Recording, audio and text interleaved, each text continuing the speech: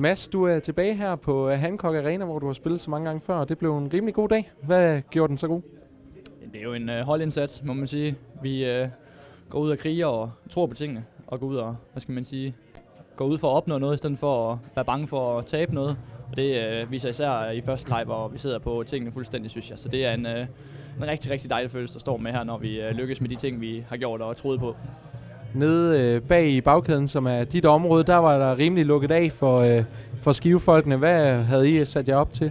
Jamen, øh, vi var godt forberedt på dem, uden tvivl. Men det var en holdindsats, at når presset sidder godt længere fremme, og midtbanen gør det rigtigt, så gør de øh, arbejdsbetingelserne nemmere for os. Så det er hele vejen over fra, det starter, at så længe presset sidder der, og vi er enige om, hvad vi gør tingene, så, øh, så bliver arbejdsbetingelserne nemmere for os nede bagved. Er du overrasket over, at kampen den, øh, tog sig ud, som den gjorde? Måske lidt overrasket over, at vi sidder så meget på det. det. Man vidste jo ikke helt med nogle nye tiltag og sådan, men altså, jeg, jeg havde en god fornemmelse, inden vi gik ud, og vi gik ud og troede på, at vi kunne dominere på måske en anden måde, end vi har gjort før, og det, øh, det synes jeg var fedt at se, og det lykkedes, og folk de virkelig troede på det. Det var alle 11 plus dem, der sad ude på bænken, så det var, det var super fedt.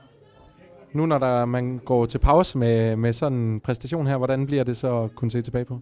Jamen, den, øh, jeg vil sige, den sejr her, den var meget, meget vigtig. Det, øh, det må man sige, den, den kan give noget ro, og og man kan godt man ikke siger, at man må kigge på tabellen, men øh, den, øh, den bliver der lidt rar at kigge på nu en sejr, så var vi fuldstændig med ned i det, og øh, nu har det heldigvis lidt afstand på og lidt ro, så øh, jeg vil sige, den, øh, den var mere afgørende end bare de tre point. Øh, det, øh, det er der ingen tvivl om. Jamen, I tre, det var en øh, succesfuld kamp, vi fik lukket året af med her.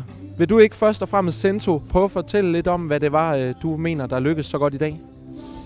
Jamen, øh, vi havde jo en, øh, en klar gameplan i dag, om at vi gerne vil op og, og dominere kampen øh, med at, at lægge et rigtig, rigtig højt tryk på, på skive.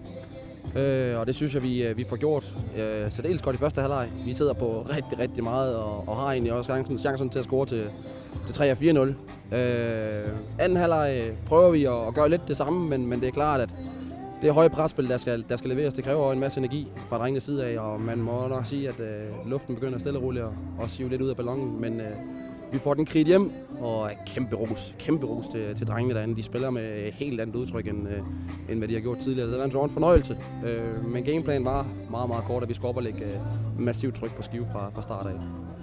Erik, det øh, vi så så fra Skives side af, det var, der gik lang tid før de fik en reel øh, afslutning øh, først og fremmest, men også spillet så ud til at være meget presset hos dem. Hvad var det, det her udtryk, det gjorde ved dem?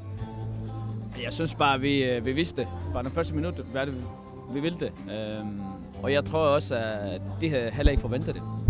Jeg tror derfor, de kunne ikke øh, komme med en, med en forsvar til det. Øhm, Øh, men det er klart, at vores gameplan, ligesom Sancho siger, at det var at vise med den første minut, at øh, vi vil gerne det her.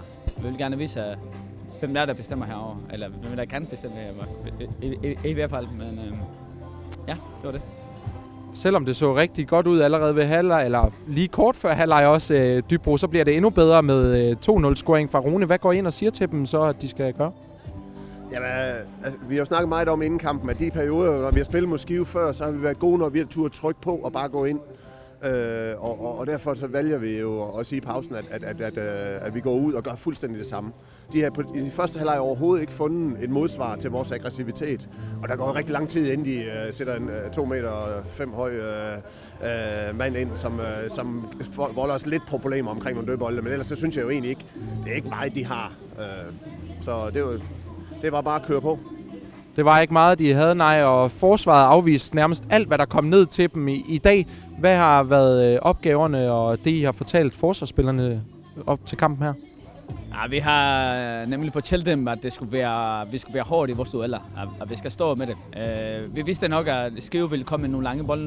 Det er det, som de plejer at gøre med os. Og, så det var en klar plan, det var en klar plan, hvordan vi skulle, uh, vi skulle håndtere det i forhold øh, til første duel, og så bolden, og så vi, jeg synes, vi er godt forberedt på det. Øh, I hvert fald, øh, vi har også prøvet at lidt, lidt et pres på, at de ikke fik lægge de lange bolden.